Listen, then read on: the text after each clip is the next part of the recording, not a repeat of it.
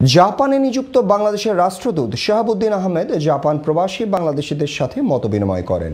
এ সময় প্রবাসীদের পক্ষ থেকে রাষ্ট্রদূতকে ফুলেলেও শুভেচ্ছা জানানো হয়। আগত অতিথিদের দূতাবাস ভবনের বঙ্গবন্ধু কর্নার পরিদর্শন করার আহ্বান জানান তিনি। পরে বাংলাদেশ কমিউনিটির বিভিন্ন পর্যায়ের ব্যক্তিবর্গ দূতাবাসের কাছে তাদের বিভিন্ন দাবি ও পরামর্শ উপস্থাপন করেন। রাষ্ট্রদূত তাদের উত্থাপিত বিভিন্ন সমস্যা সমাধানের আশ্বাস প্রদান করেন।